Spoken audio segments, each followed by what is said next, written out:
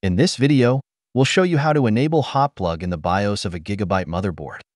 By default, when you plug a SATA hard disk into your computer, you need to restart Windows before it becomes usable. Enabling hot plug allows you to plug and unplug SATA drives without restarting your system. Restart your computer and press the delete key repeatedly to enter the BIOS setup. Switch to Classic Mode or Advanced Mode in the BIOS. Navigate to the Peripherals tab. Select the SATA and RST configuration option.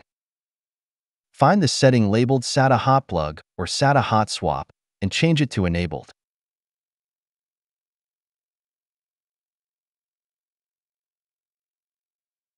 Once Hot Plug is enabled, go to the Save and Exit menu.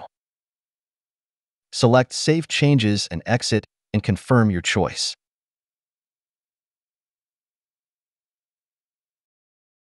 Steps on a Gigabyte Aorus motherboard.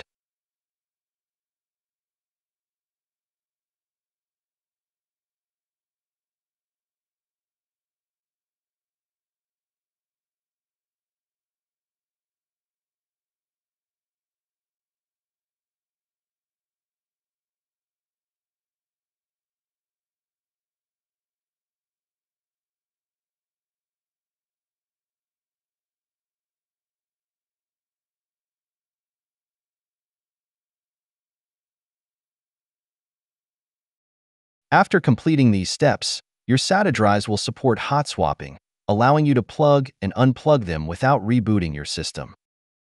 Now, I will attach a hard drive into the computer without turn it off. As you can see, after plugging a disk into the computer, I can use it immediately without restarting the system.